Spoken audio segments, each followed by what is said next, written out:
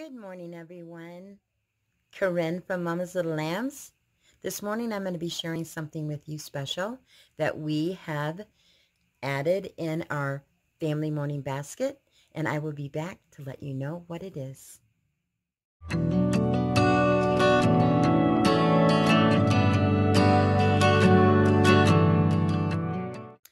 Welcome back, everyone.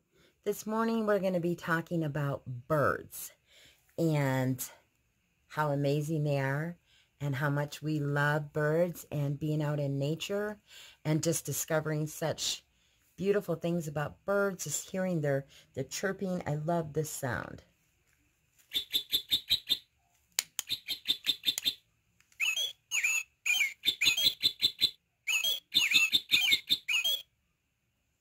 I love that sound all the beautiful songs that the birds sing. It's such a blessing. Um, and this year, we do a family morning basket, and we are going to be doing learning about birds. And this is a Living Science Handbook by Sonya Shafer, Simply Charlotte Mason. And this is what we're going to use for our spine. It's absolutely wonderful. I'm not certain if you have um, done this or not. If you have, leave your comments down below how you liked it and let me know. It says, enjoy learning about birds with a beloved author of nature stories for children. The Burgess Bird Book for Children and Blacky the Crow have long been favorite books among students interested in birds.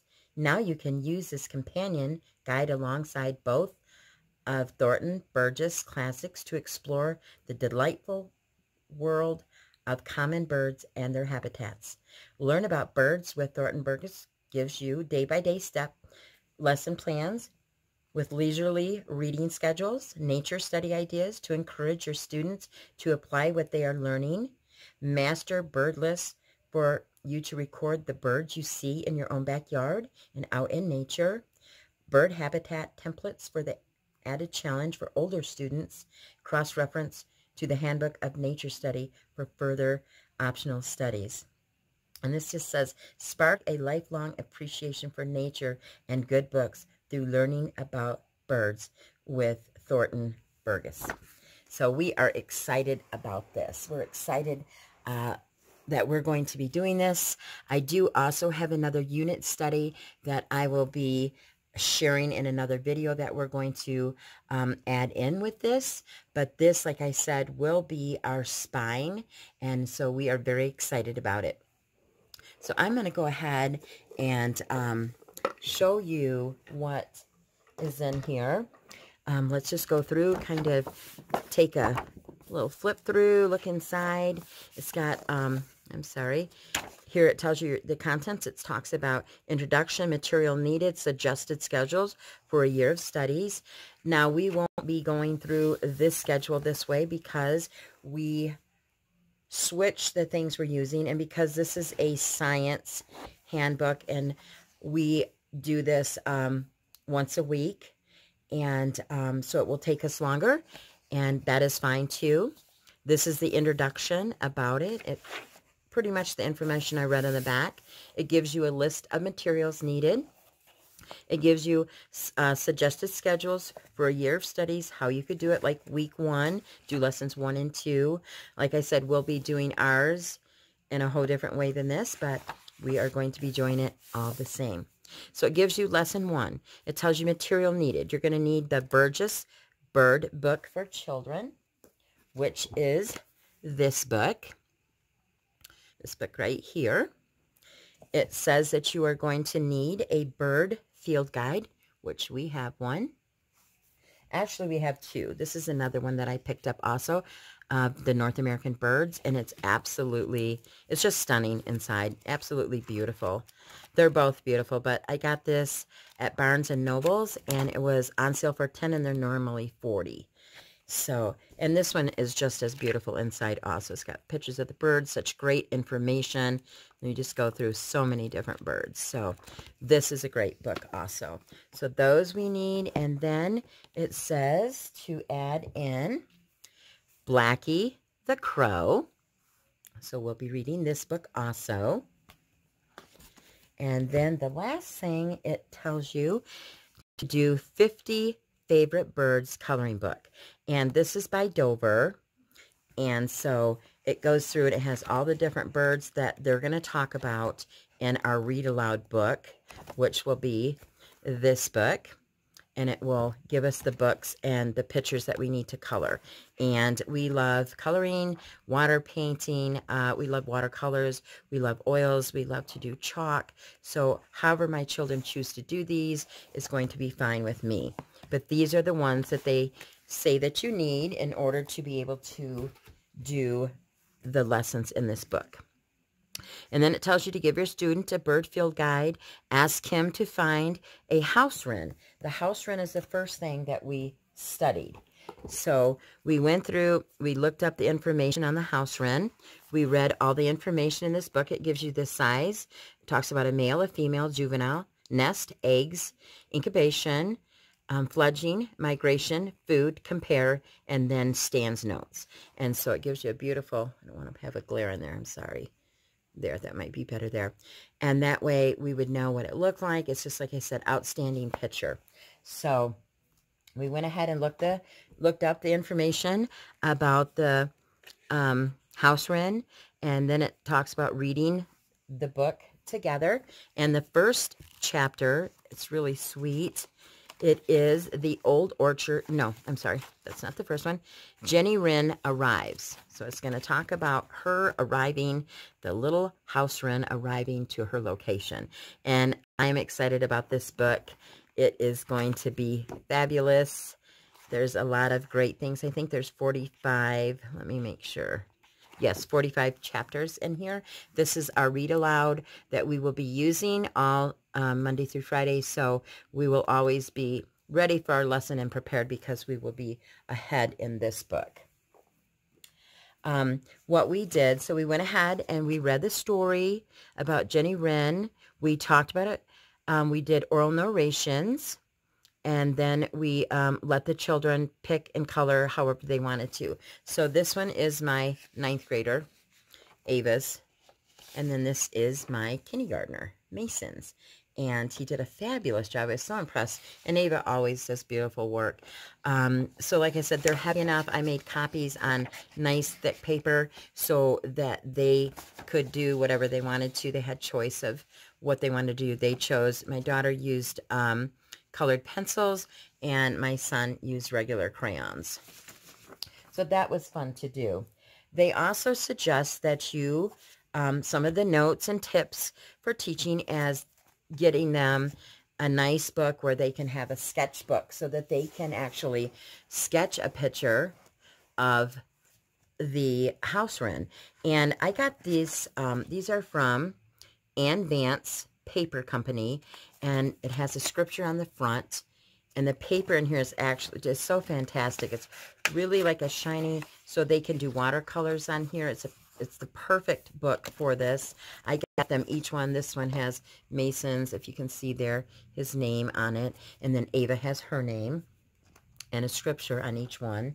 I also picked up this sketchbook here. So if they wanted to go ahead and use these, whatever they you know, they can color, watercolor on this. It tears out. And I'm going to do, do a little portfolio of their artwork. So I'm excited. I will be saving all the pictures that they either paint, color, do chalk work, and then their um, personal sketches. I think that's will be so beautiful to have. So I'm excited about that.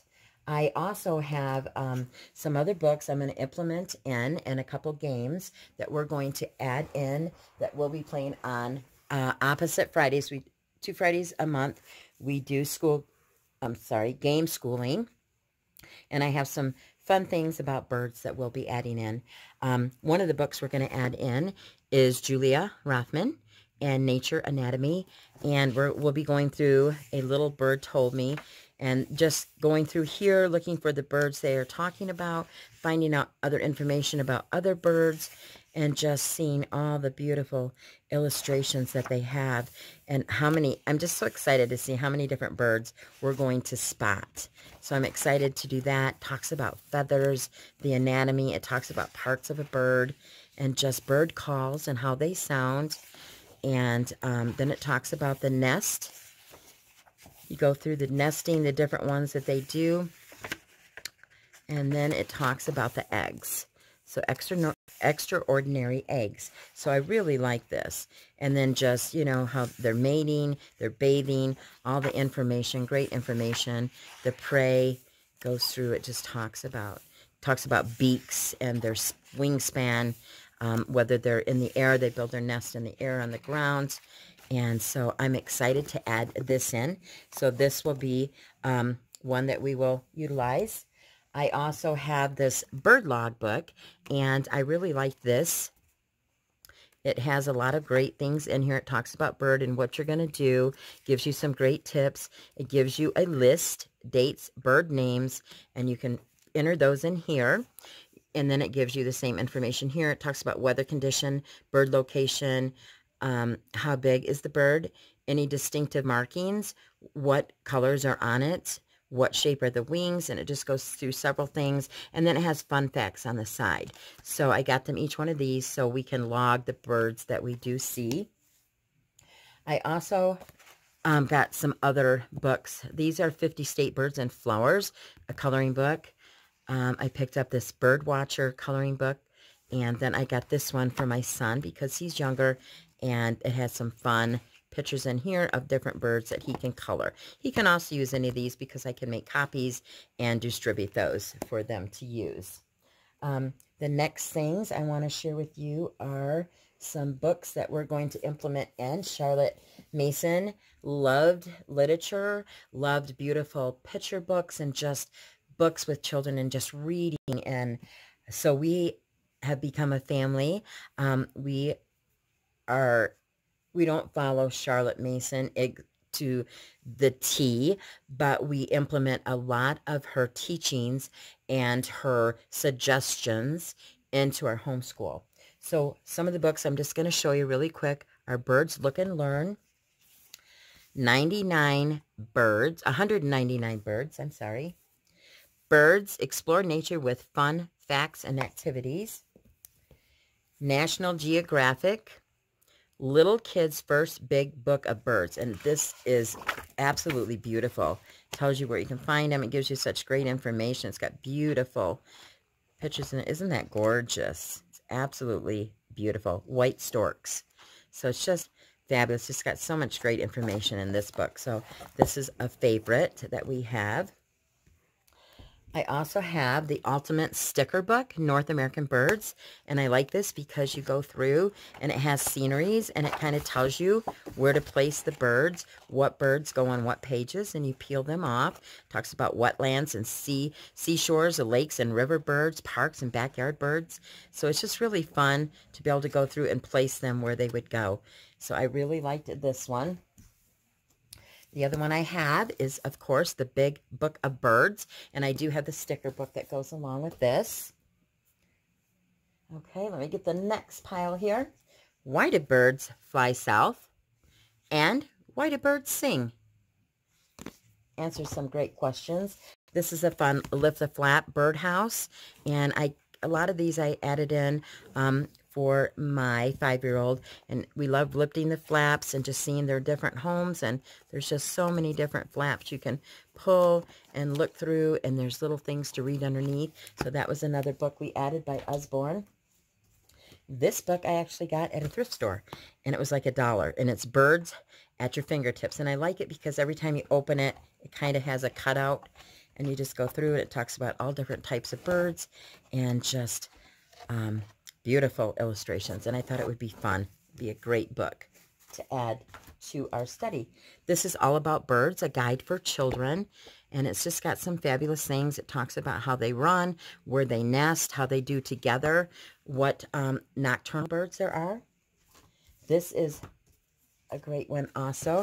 This is feathers, not just for flying, and it goes through and it talks about feathers and why they have feathers. And it isn't only for them to fly. Isn't that peacock beautiful? It talks about the feather and just how pretty they are. So I really liked this book. I also have How Do Birds Find Their Way, which is an important question. How do they find their way? How do they know when they migrate? How do they know to find their way back where they're going and then to come back to where they were?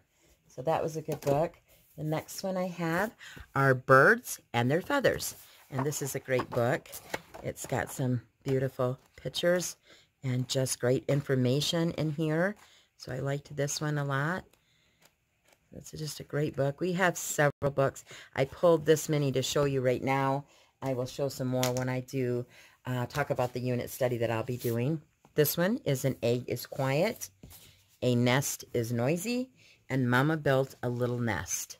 So all of these books we are going to be adding in and reading throughout the time that we are doing learning about birds.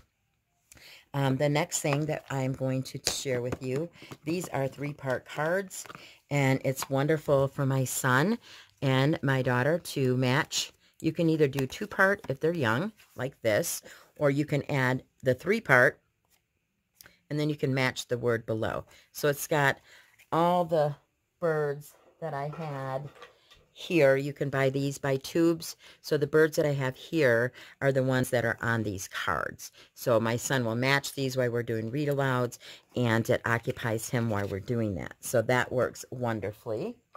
Then we also have um, match a pair of birds. These are absolutely beautiful. It's a memory game. Critical thinking. This is really good. And it also gives you information about I have not used this one yet, but I have one on bugs, which is the same. And it just gives you um, information, and it's just a memory. It tells you about them, and they're just really pretty, pretty cards. So we have those.